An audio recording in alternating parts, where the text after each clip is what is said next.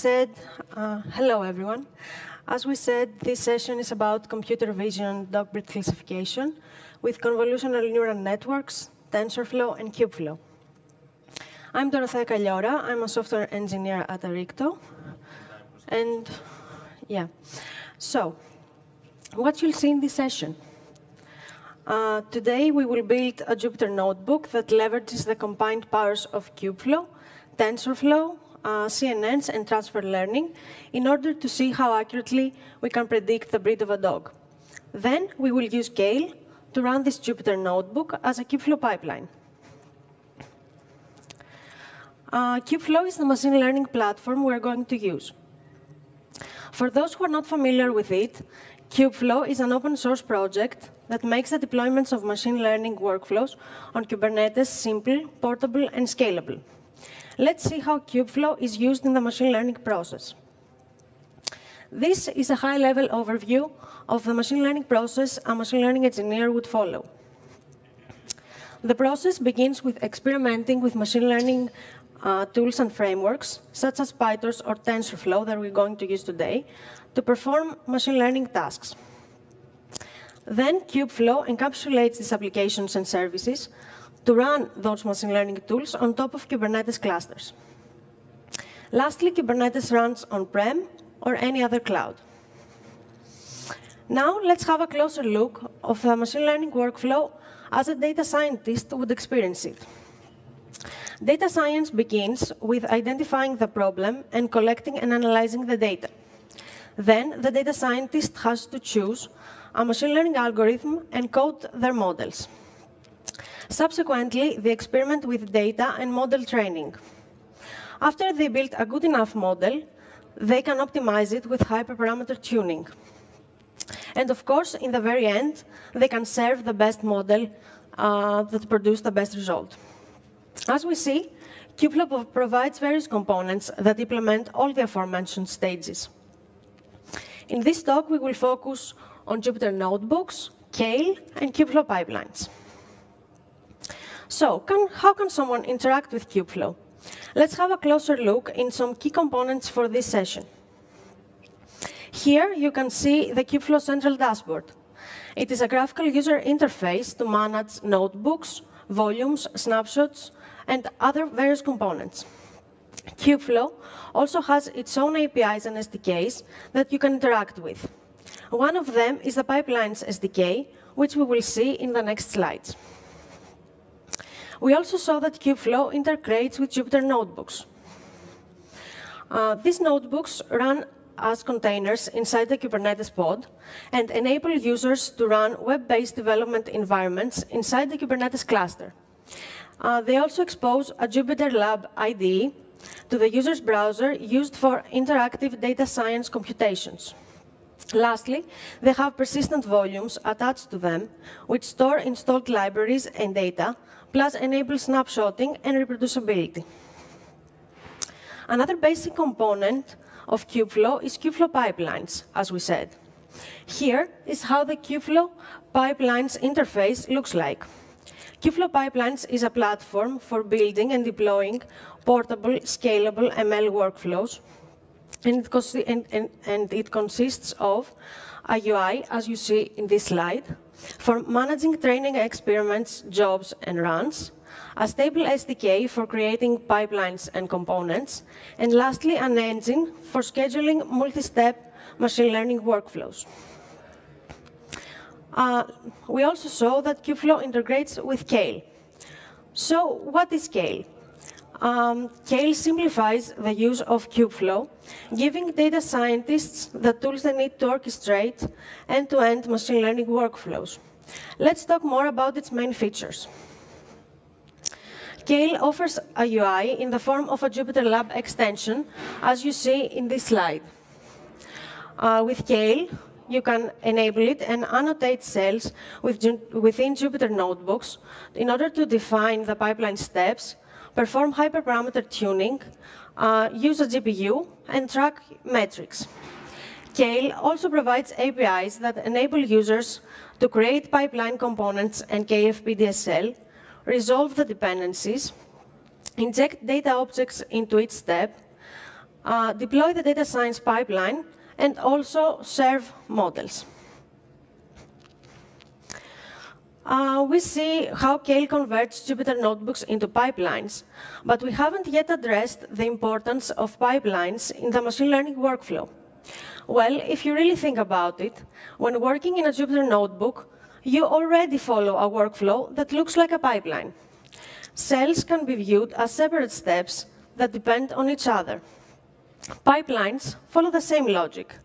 They consist of clearly defined steps that can even run in parallel as isolated code execution units. This enables hyperparameter tuning of a notebook and its steps. Also, it becomes very easy when running pipelines into Kubeflow pipelines to apply data versioning and reproducibility to these independent steps. The various cells of your notebook that become independent steps might have different requirements. For example, the training of a deep learning model might need a GPU, whereas another cell may not. All the above are feasible with Kale and Rok. So, let's talk about how Kale and Rok can dramatically simplify the workflow of building a Kubeflow pipeline. Here is the uh, machine learning development process without these components. As you can see, um, you need to follow various steps. First, you need to write your machine learning code, then create Docker images, write the DSL KFP code, compile it, then upload the, KFP the pipeline to KFP, and lastly, run the pipeline. So what happens if you make a mistake and you need to amend your machine learning code?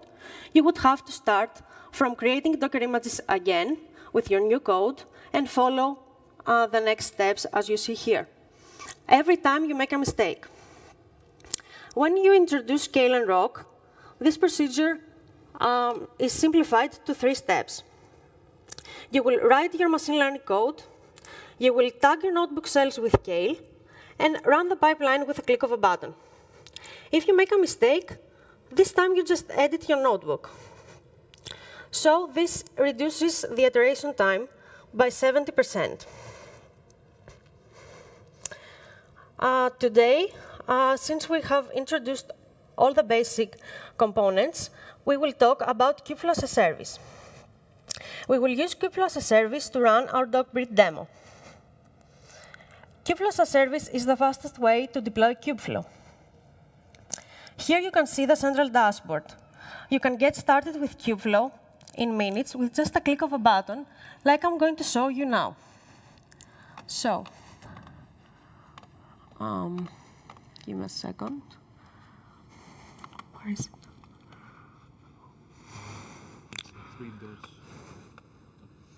No, I can't.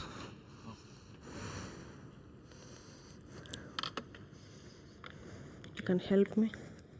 Go to the screen. Look, look, get up. Now you can. Look at it. Okay, thanks. Uh, so, we're going to open a new window and type this URL, kubeflow.arrikto.com.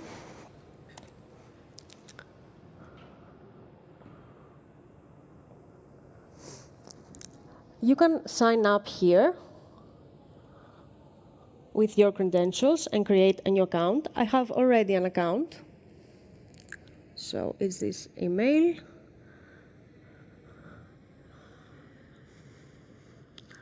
Let me type my password.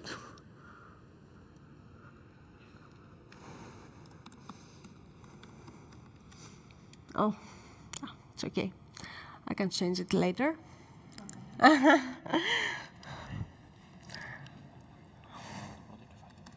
know.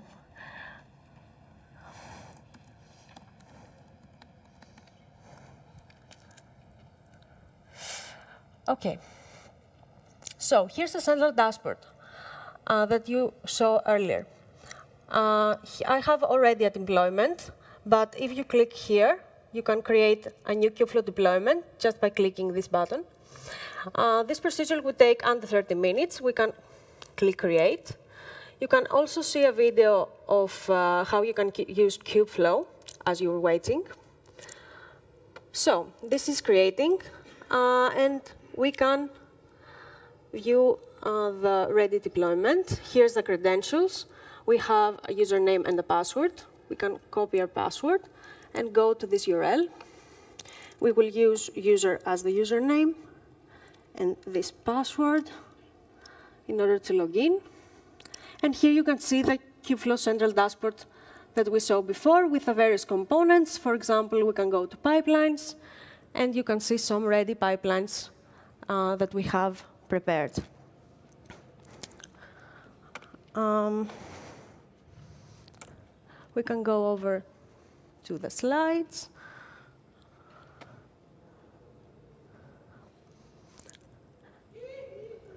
And now I'm going to hand it over to Konstantinos to show you the demo.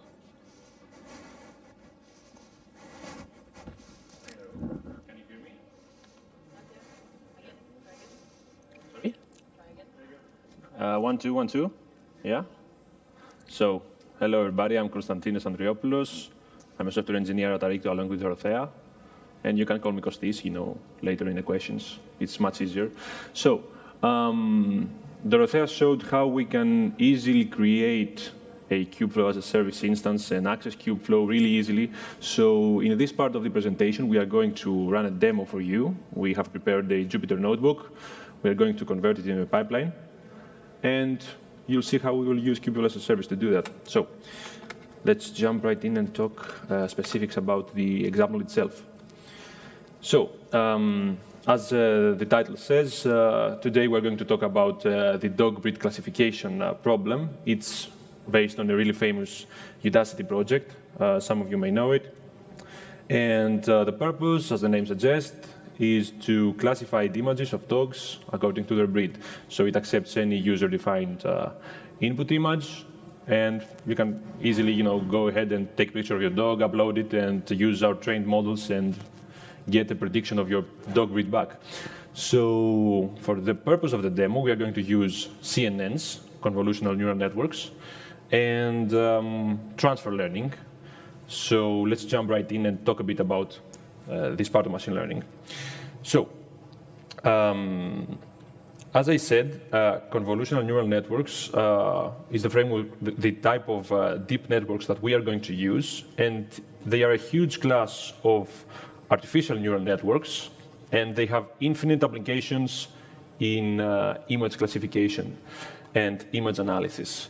So, an interesting feature about CNNs is that uh, their architecture consists of, let's say, windows that are uh, in a way sliding across the image and they detect different types of uh, uh, interesting features in that image, such as corners, such as edges. So that leads them to understand uh, the contents of the image, like items that are contained in the image, or dogs in our case. Um, and the uh, framework that we are going to use in order to implement all this in this demo is TensorFlow. I'm sure you know TensorFlow. Um, we chose it because, well, of course, it's open source. It has an infinite amount of applications. Um, it's excellent for training and inference of uh, deep neural networks. And it is also natively supported in Kubeflow. So, um, the first pre-trained CNN that we are going to use is called ResNet 50. And as the name suggests, it's 50 layers deep. It's trained on uh, ImageNet. It has over a million uh, different images and about a thousand categories of different objects contained in these images, such as keyboard, mouse, pencil, and many animals, such as dogs. So the next one that we are going to use is called VGG16. Uh, as the name suggests, again, it's 16 layers deep, and it's a CNN with uh, infinite applications in image analysis. Um, it's also used in the ImageNet visual database project. And, um, well, as you probably guessed, it's really, really popular. So let's jump in the sections of the notebook that we are going to use for this demo. Uh, in the beginning, as any data scientist, we are going to do a couple of downloads, imports, define some pipeline parameters, because this notebook is going to turn into a pipeline uh, in the end. We are going to load our data in memory, and then we are going to create three different uh, types of uh, CNNs. The first one we will build with uh, our own bare hands using TensorFlow. The other two are pre-trained, so we are, we are, going to use transfer learning on top of them in order to use them in our specific problem in dog breed classification. Then we are going to test them and see a couple of visualizations in order to see where we're at. Okay? So, uh, we can now jump in the demo. Let me change the screen here. Let's go here. Okay, so as, you, as Dorothea showed you, we have a instance ready to use. So we're going to go this way. We are going to copy our password, and we are going to connect to it, right? So let me move that a bit in order to be easier. So as you can see, we have a uh, Kubeflow dashboard here uh, the ones that we saw in the slides. Let's go ahead and create a new notebook server in order to run our examples. So I'm going to go ahead and hit new notebook.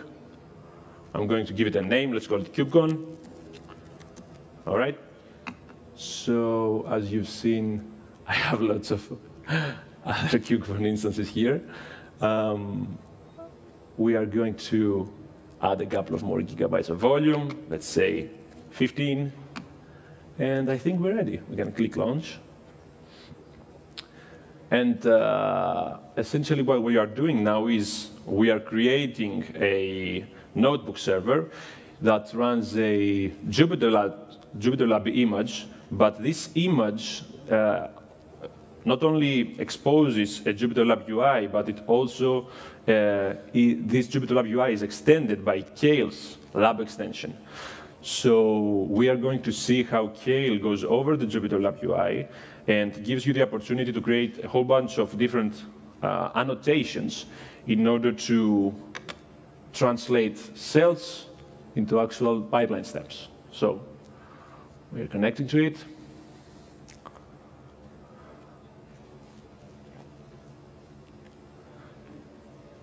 You see the JupyterLab UI pop up. Yeah. So this is empty. We need to download our uh, notebook. So let's get the terminal.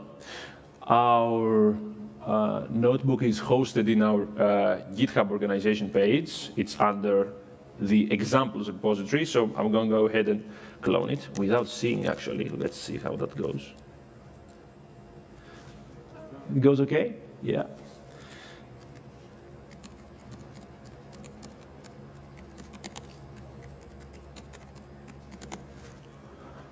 Yep. Oh, whoa, whoa, whoa. Oh, yeah, I forgot clone. Thank you.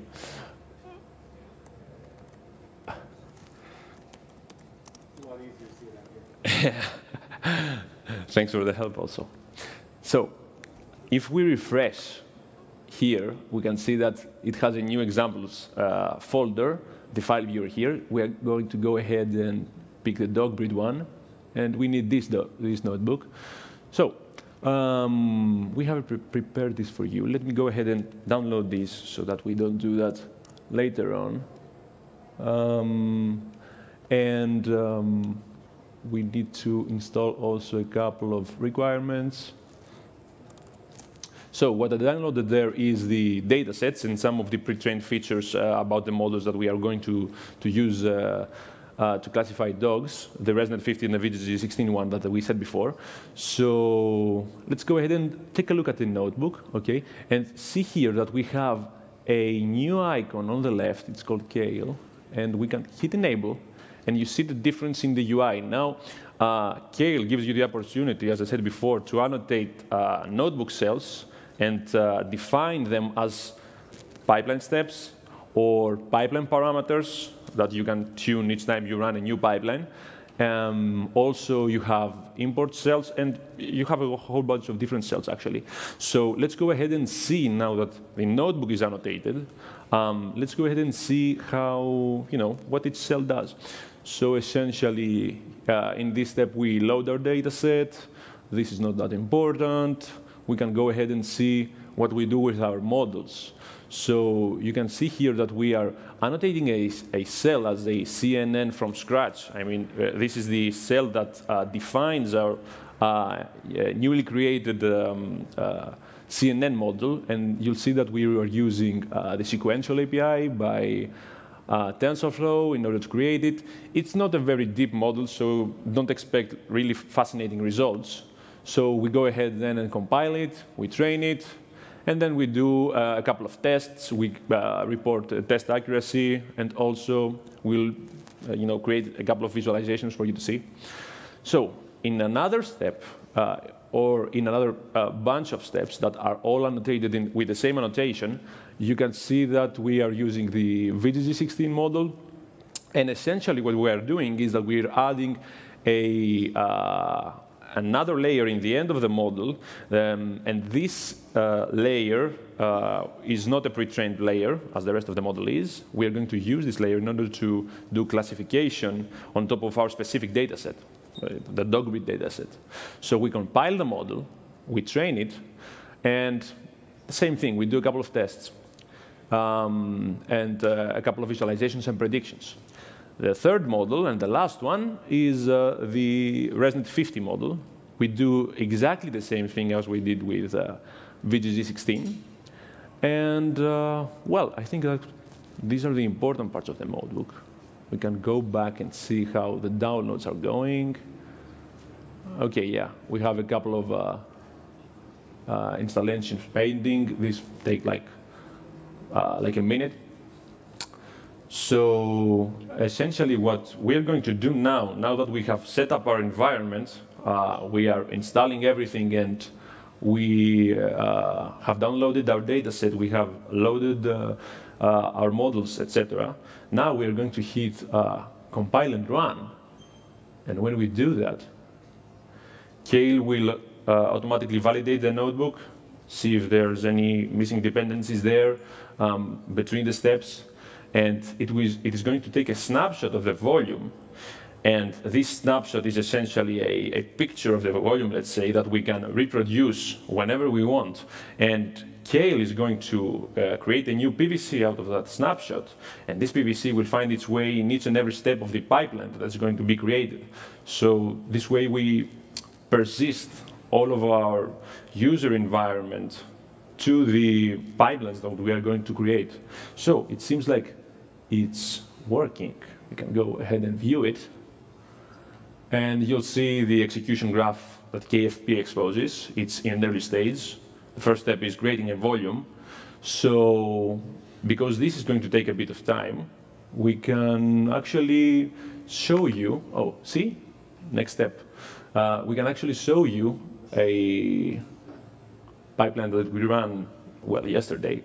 And um, you can see here how these three uh, steps are the ones that we use to create our model and train it. And you see how they run in parallel, but they somehow depend on the same step, on the previous step. You see, you know, all the dependencies um, using the arrows. So let's go ahead and click, you know, in ResNet and go in the visualizations tab and you'll see that we have this HTML window here. So as you can see, the test accuracy of this model is 82% over our test dataset. And we have uh, shown, we have uh, uh, decided to show, to, to, show a visualization of a, a, specific part of the dataset, this dog. This is a uh, Dalmatian, this is the ground truth, and this is what the model predicted. So we see really, really good results early on. Uh, the next model that we are going to see is the VGG16. Again, visualizations tab. You can see a whole bunch of visualizations that uh, you can do. Uh, not that good, uh, not uh, that good of an accuracy. It's 72%, but again, it predicted correctly the specific Dalmatian dog. We can do the same thing for our CNN from scratch, and we have some things here too. If we go and scroll right back like this, you'll see that test accuracy is not that good at this point. I mean, uh, we expected that it's like a really, really uh, not that deep layer, so it cannot be compared to ResNet and uh, the other two layers. Um, so yeah, this is it from the demo. We can actually jump in to the slides.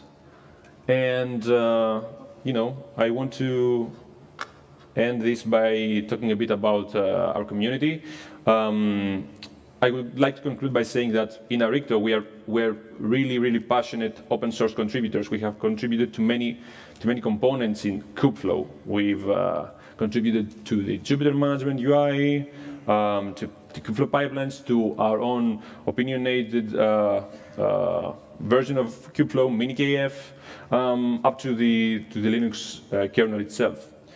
So a bit more about Kubeflow. Uh, Kubeflow, as you may know, is a great community made up with uh, uh, many, many big companies that are actively contributing.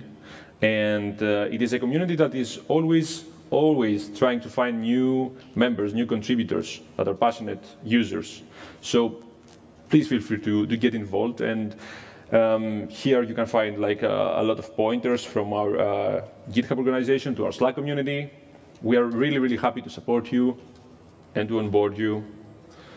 So without further ado, I would like to say thank you. Here's a couple of pointers, and I hope you enjoyed it.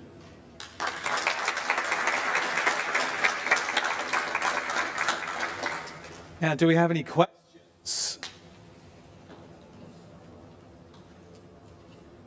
Can't see any hands up. Anybody have any questions?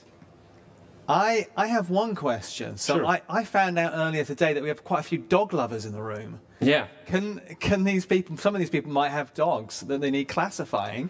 Can they drop an image into the Slack channel? And will you yes. classify for them? We can come back to that later on. Yeah, yeah. Uh, as we said, it's a public example. So if you just go ahead in our GitHub account, download it, and run it, uh, okay. you can actually take a picture of your dog and see what the actual breed is. We'll do that later on. Oh, so we do have a question. Okay.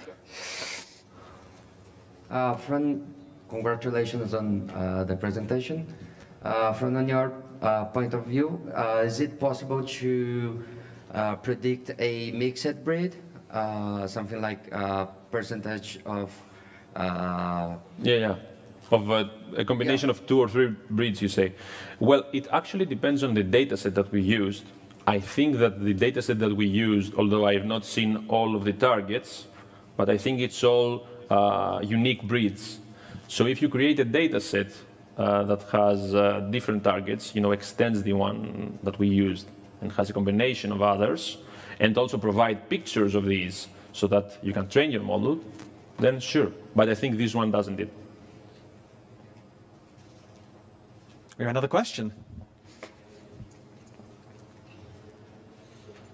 Oh, say it, say it. Uh, about the Kale project, Yes. Uh, it looks very cool, but it looks a kind of deprecated project. It's just reached 500 uh, stars in GitHub, and the last commit is like for the October last year. Yes, yes. So uh, what we showed you here is actually our um, our own uh, private version of Kale that comes with Kubeflow as a service. So it isn't very in sync with what you see in our upstream repo in GitHub. It has a whole bunch of new features, and it's, you know, it's in a really, really updated stage than the one that you see in the open source. Any more questions? Jessica, do we have any questions in the Slack channel? Uh, no, and uh, so far no new dog pictures. So. No new dog pictures. Okay, great stuff. Okay, thank you very much. We thank Round you. of applause. Thank